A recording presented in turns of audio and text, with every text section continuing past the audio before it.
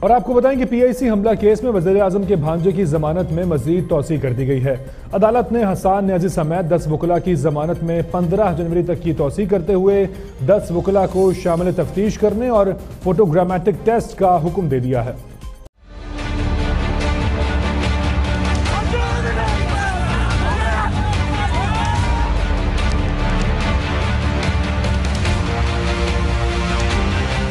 لاہور کی انسداد دہشت گردی عدالت میں پی آئی سی حملہ کیس کی سماعت ہوئی۔ عدالت نے وزیر اعظم کے بھانجے حسان نیازی سمیت دس ملزمان کی عبوری ضمانت میں پندرہ جنوری تک توسیع کر دی۔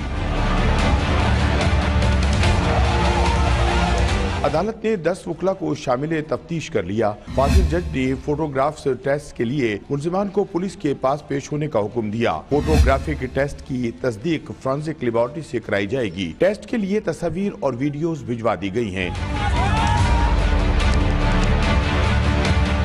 اس سے قبل دو جنوری کو سماعت میں حسان نیازی تاخیر سے پہنچے تھے، جس پر عدالت نے ان کی عبوری ضمانت خارج کر دی تھی۔ غیر مشروط معافی مانگنے پر عدالت نے چھ جنوری تک عبوری ضمانت منظور کرتے ہوئے ایک لاکھ کے مچل کے جمع کروانے کا حکم دیا تھا۔